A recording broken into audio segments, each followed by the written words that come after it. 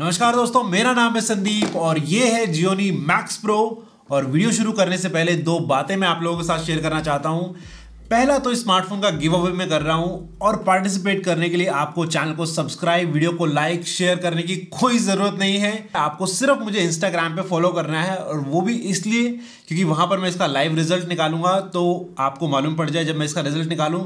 उसके बाद आप मुझे अनफॉलो भी कर सकते हो यार, ऐसी कोई बात नहीं है। और दूसरी बात यह है कि जो मोबाइल है मुझे ब्रांड ने भेजा है तो ऐसे में रिव्यू बनाते वक्त मैं सिर्फ़ एक ही चीज़ का ध्यान रखूँगा। मैं इसकी कोई तारीफ़ नहीं करने वाला हूँ, जो फैक्ट्स हैं वो आप लोगों के साथ शेयर करूँगा। उसके बाद आप मुझे नीचे कमेंट बॉक्स में बताएगा कि क्या ये स्मार्टफ़ोन वैल्यू फॉर मनी है या नहीं। बॉक्स को ओपन करते ही आपको कुछ यूज़र मैनुअल्स और वारंटी कार्ड देखने को मिल जाते हैं। इसके साथ ही आपको एक सिम इजेक्टर टूल भी देखने को मिल जाएगा। साथ ही आपको एक 10 वोट का छोटा सा चार्जर भी देखने को मिल जाता है और साथ ही इसके है एक माइक्रो यूएसबी केबल और बात करो अगर मैं स्मार्टफ़ोन की तो ये सनराइज डिज़ाइन के साथ आता है। देखने में तो काफ़ी खूबसूरत लग रहा है। पॉलीकार्बोनेट की बॉडी है। और अच्छी बात यह है कि इस पर कोई फिंगरप्रिंट्स वगैरह नहीं लगते हैं तो आप इसको नॉर्मली भी यूज़ कर सकते हैं। अगर आप कवर वगैरह नहीं लगाना चाहते हैं तो भी इस पर फिंगरप्रिंट्स के निशान जो है वो नहीं पड़ेंगे। दोस्तों, बात करो अगर मैं डिस्प्ले की तो यहाँ पर आपको 6.52 इंचेस का एक H plus full view dew drop notch display देखने को मिल जाता है। अच्छा लॉकडाउन के अंदर मैंने एक चीज़ को नोट किया है कि यार स्टूडेंट्स की बात करूँ या प्रोफेशनल्स की बात करूँ थोड़ी सी बड़ी स्क्रीन वाला जो डिस्प्ले है ना, वो काफ़ी हेल्पफुल रहा है। ऑनलाइन स्टडीज़ करते हैं या फिर ऑफ़िस का थोड़ा बहुत काम करते हैं। तो ऐसे में एक बड़ी स्क्रीन जो होती है, वो कहीं ना कहीं आपको एक एज प्रोवाइड करती है। तो ऐसे में डेफिनेटली मैं ये बोलूँगा कि यार काफ़ी अच्छी पिक्चर क्वालिटी आपको यहाँ पर देखने को मिल जाती है और इसके साथ साथ क्योंकि बड़ा डिस्प्ले है तो अगर आप ऑनलाइन स्टडी करना चाहते हैं तो भी आपके हेल्पफुल रहेगी और अगर आप ऑफ़िस वगैरह का काम करना चाहते हैं देन डेफिनेटली यहाँ पर भी ये फ़ोन आपके हेल्प करने वाला है।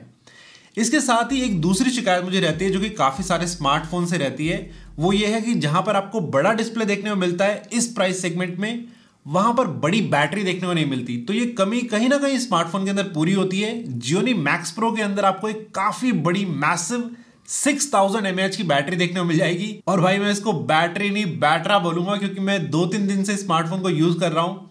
और आराम से बैटरी दो से ढाई दिन जो है निकाल देती है। अगर आप एक्सट्रीम यूज़ करते हैं, तब भी मेरे ख्याल से एक दिन तो कहीं नहीं गया। बड़े आराम से 6000 हज़ार की बैटरी एक से डेढ़ दिन निकाल देगी।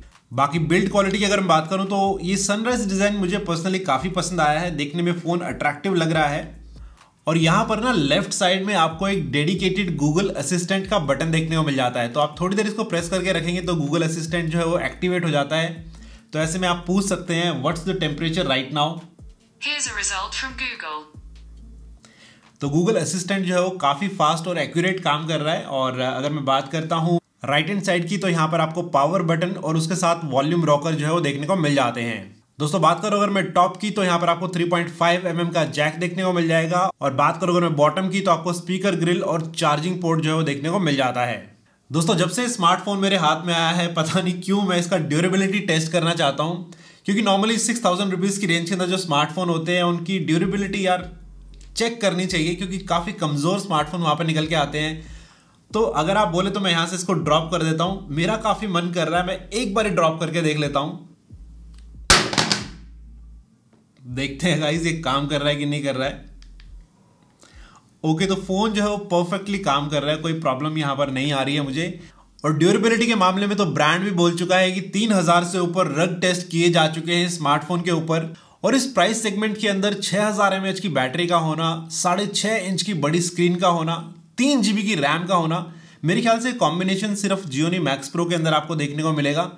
और तीन जीबी रैम होने का यार एक फ़ायदा आपको देखने को मिलता है। जब आप मल्टीपल ऐप्स को ओपन करते हैं ना तो ऐसे में रैम जो होती है, वो उनको अच्छे से मैनेज करती है। काफ़ी सारी बारी ऐसा होता है कि आप गूगल क्रोम भी खोल के बैठे हुए हैं, साथ ही कुछ गेम भी खेल रहे हैं बैकग्राउंड में कुछ एप्लीकेशन आपकी ओपन है। तो ऐसे में जब आप मल्टीपल ऐप्स को ओपन करते हैं तो बजट सेगमेंट के स्मार्टफ़ोन में काफ़ी बारी लैग आपको देखने को मिलता है।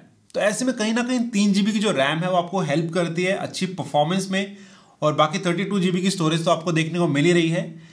इसके अलावा दो फोर की सिम लगाने के बाद भी आपको डेडिकेटेड माइक्रो एसडी कार्ड का स्लॉट देखने को मिल जाता है। तो अगर बत्तीस जीबी की स्टोरेज आपकी भर रही है तो उसके बाद भी आप डेडिकेटेड माइक्रो एसडी कार्ड लगा के स्टोरेज को बढ़ा सकते हैं। कैमरा डिवीज़न की अगर मैं बात करूँ तो रियर में आपको ड्यूल कैमरे का सपोर्ट देखने को मिल जाता है विद एलईडी फ्लैश और यहाँ पर जो प्राइमरी कैमरा है वो आपको 13 मेगापिक्सल का देखने को मिल जाता है। ये एक एआई कैमरा है, कुछ पिक्चर सैंपल्स मैं आप लोगों के साथ शेयर कर रहा हूँ ताकि आपको आइडिया हो जाए कि जो रियर कैमरा है उसकी पिक्चर क्वालिटी कैसी आपको देखने को मिलने वाली है। और दो मेगापिक्सल का पोर्ट्रेट लेंस भी आपको देखने को मिलता है तो बुके इफेक्ट्स के साथ भी आप पिक्चर जो है क्लिक कर सकते हैं। सेल्फी की अगर मैं बात करूँ तो इस ड्यू ड्रॉप नॉच के अंदर आपको 8 मेगापिक्सल की सेल्फी देखने को मिल जाती है, जिसके रिजल्ट्स भी मैं आप लोगों के साथ शेयर कर रहा हूँ तो आपको आइडिया लग जाएगा कि बैक और फ्रंट दोनों कैमरास की परफॉर्मेंस आपको कैसी देखने को मिलती है। अच्छा सेफ्टी और सिक्योरिटी की बात करूँ तो फिंगरप्रिंट स्कैनर आपको यहाँ पर नहीं देखने को मिलता है, लेकिन फेस अनलॉक की स्पीड में आपको दिखा देता हूँ। अनलॉक हो गया है, मैं दोबारा लॉक करता हूँ। बाकी एंड्रॉयड 10 का सपोर्ट आपको यहाँ पर देखने को मिल जाता है। कुछ ब्लॉटवेज आपको प्री इंस्टॉल्ड इस स्मार्टफ़ोन के अंदर देखने को मिल सकते हैं, लेकिन आप उनको ईजिली अनइंस्टॉल या डिसेबल भी कर सकते हैं।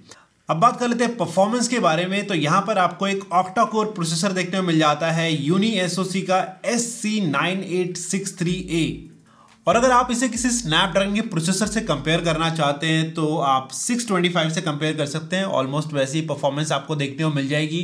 कुछ गेम मैंने यहाँ पर प्ले करे हैं जो मैं आपके साथ शेयर कर देता हूँ ताकि आपको आइडिया हो जाए कि गेमिंग जो है वो स्मार्टफ़ोन के अंदर कैसी होने वाली है। बाकी जो नॉर्मल गेम्स हैं लाइक टेंपल रन या सबवे सर्फर वो तो आप बहुत ही स्मूथली यहाँ पर गेम प्ले कर पाएँगे, कोई प्रॉब्लम आपको आने वाली नहीं है। कहने का मेरा मतलब ये है कि छः हज़ार नौ सौ निन्यानवे रुपये के अंदर वैसे इस पर दस परसेंट का डिस्काउंट भी है। अगर आपके पास कोई बैंक का कार्ड है तो आपको ये स्मार्टफ़ोन छः हज़ार तीन सौ रुपये के आसपास का जो है वो देखने को मिल जाएगा। तो छः हज़ार नौ सौ निन्यानवे रुपये के अंदर इस स्मार्टफ़ोन के अंदर आपको काफ़ी बड़ी स्क्रीन काफ़ी बड़ा बैटरी बैकअप तीन जी की रैम बत्तीस जी स्टोरेज भर भर के कॉन्फ़िगरेशन देने की कोशिश कर रही है, अगर मैं साफ़ साफ़ बोलूँ तो। और मेरे ख्याल से वैल्यू फॉर मनी जो है बनाता है। बाकी आपका क्या है कहना नीचे मुझे कमेंट बॉक्स में ज़रूर बताइएगा। और गिव अवे के अंदर पार्टिसिपेट करने के लिए मुझे इंस्टाग्राम पे कुछ दिनों के लिए फॉलो ज़रूर कर लीजिएगा ताकि आपको रिजल्ट्स जो है वो मालूम पड़ जाए। और आप मुझे ज़रूर कमेंट बॉक्स में बताइएगा कि पर्सनली आपको इस स्मार्टफ़ोन के अंदर क्या अच्छा लगा, क्या अच्छा नहीं लगा। जो नहीं अच्छा लगा वो भी ज़रूर बताएगा ताकि कंपनी को फीडबैक मिले और वो उसके अंदर इम्प्रूवमेंट करे। और इसी तरीके के अनबायस्ड वीडियो देखने के लिए आप चैनल के साथ बने रहिएगा। लगातार आपके लिए ऐसे वीडियोस मैं लेके आता रहता हूँ। मिलता हूँ आपसे बहुत जल्दी नेक्स्ट वीडियो के अंदर।